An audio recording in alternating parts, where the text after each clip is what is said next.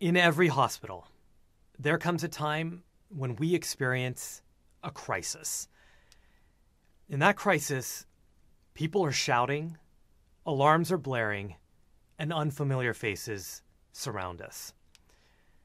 The stakes are high, and time matters because death can be imminent.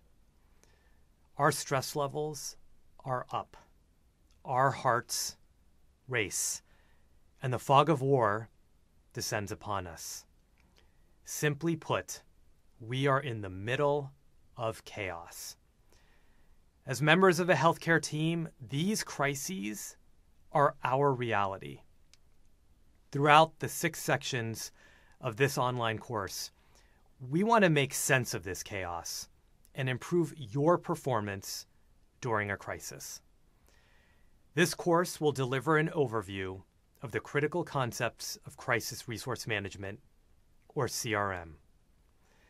CRM has been referred to as the cognitive, social, and personal resource skills that complement technical skills and contribute to safe and efficient task performance.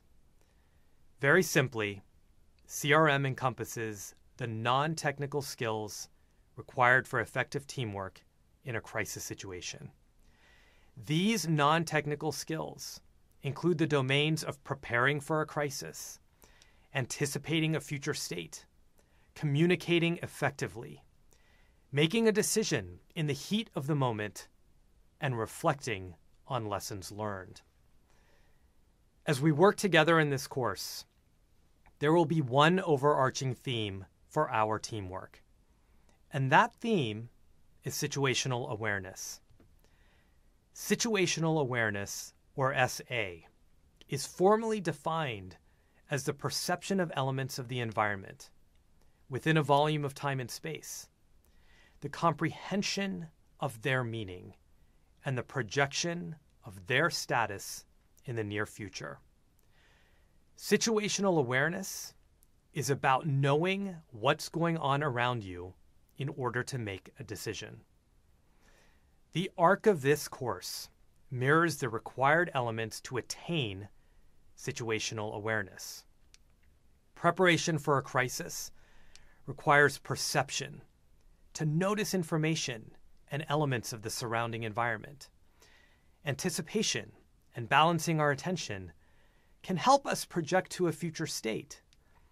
And communication allows us to comprehend the meaning and significance of the crisis.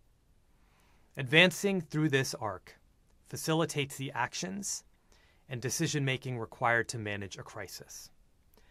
And finally, reflection allows each of us to process and store what we've learned for the next time we enter a crisis. This online course will include video lectures, just like this video introduction, where we'll break down the principles of crisis resource management and discuss other useful mnemonics and adult learning practices. We will use activity prompting videos that feature conversations between my co instructors for this course, Dr. David Kessler and Dr. Jessica Spellman. They discuss crisis resource management principles using their own experiences handling crises. A unique aspect of this online course is our development of a crisis scenario, a 17 minute video simulation of a crisis situation within the trauma bay. We've produced this video specifically to highlight the principles of crisis resource management. Throughout this course, We'll revisit various scenes from that scenario and assess your powers of observation and application as they pertain to this course's content. By the end of this course, we hope that you will understand crisis resource management in the context of the aviation industry. Know the factors that affect the performance of complex tasks and identify, incorporate, and apply the principles of crisis resource management into your practice. These color coded CRM principles will appear throughout the course. The 13 CRM principles that we've developed will also be accessible in the textbook section of this course and the course handout section for easy downloading and printing. Our hope is that you can quickly adopt and apply these principles the next time you're in a crisis. Store these cognitive aids on your arrest cards. Carry them in your pocket, either in printed form or on your phone. Use them for simulation instruction. Incorporate them into your debrief and distribute or tweet them. Now, we'd like you to pause for a moment.